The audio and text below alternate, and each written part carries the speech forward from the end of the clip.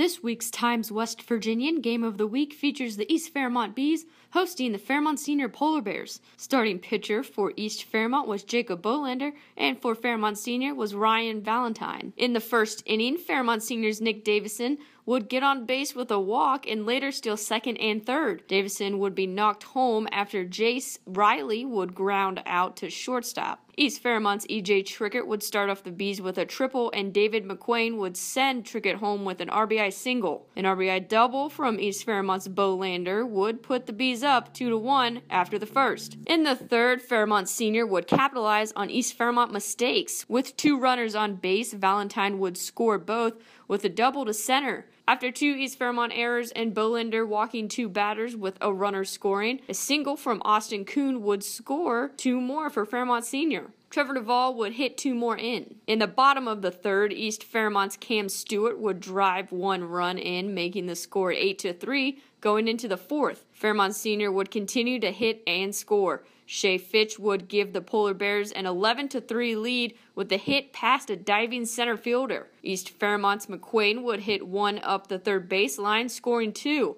11 to 5 Fairmont Senior after 4. After Fairmont Senior would score one in the 5th, in the 6th, East Fairmont would climb within 2 of the Polar Bears. After East Fairmont's McQuain would hit an RBI double and Trickett scoring on a passed ball, Dalton Michael would hit a 3-run home run making it 10 to 12 going into the seventh. Fairmont Senior would add another run to the board in the seventh, but East Fairmont would tie the game. First, a line drive from Trickett would bounce off the pitcher's foot, making him safe at first. Trickett would later score after a fielder's choice. With two on base, Dalton Michael would hit the ball to left, scoring both. After an overthrow at second, he would run to third, and with another overthrow, Michael would head home, hoping for the winning run but he would be tagged out 13 to 13 after 7. In extra innings, both teams would go scoreless in the 8th. In the bottom of the ninth, tied at 13, Sam Swagger would run out the throw from shortstop and later be bunted over to second.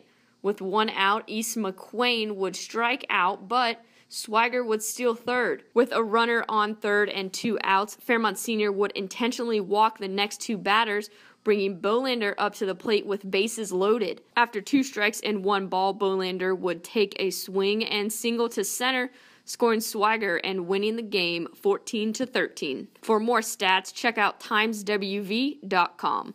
This feature has been the Times West Virginian Game of the Week.